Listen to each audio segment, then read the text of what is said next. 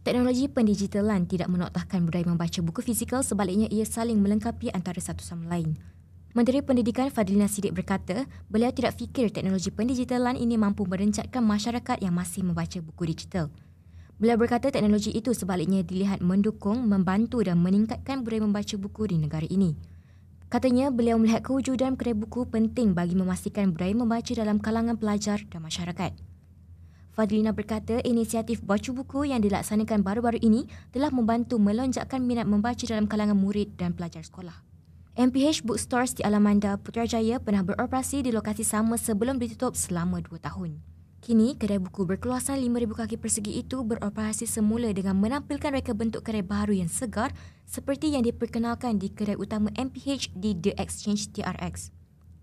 Ketua Pegawai Eksekutif MPH Bookstores, Martin Cross berkata, karya buku ini memperlihatkan reka bentuk kontemporari yang menggunakan elemen kayu cerah dan perincian gangsa iaitu melambangkan arah baru MPH sebagai destinasi yang inspirasi dan moden.